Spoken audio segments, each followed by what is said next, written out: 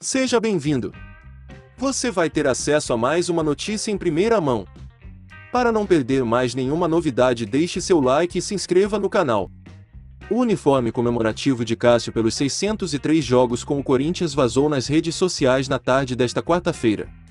Assim que entrar em campo novamente, o gigante ultrapassará Ronaldo Giovanelli em partidas, se tornando o terceiro atleta que mais vestiu a camisa do timão na história.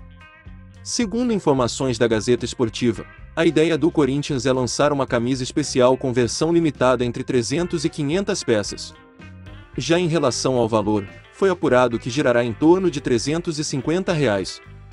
A camisa comemorativa é preta, com tons dourados no símbolo e mangas longas. Entre o escudo e a marca da Nike, se encontra um autógrafo do ídolo da Fiel.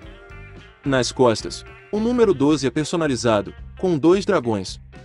Vale lembrar que Cássio não costuma usar camisa com manga longa, mas a ideia pode ser homenagear Ronaldo, que tinha uniforme nesse formato, geralmente também da cor preta.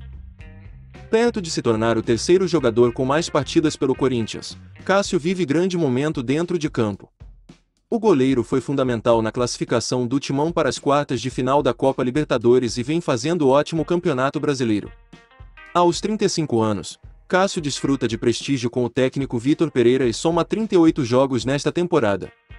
Seu vínculo atual com o Corinthians vai até final de 2024. Quer ter mais conteúdo de notícias exclusivas? Acesse o primeiro link da descrição e descubra.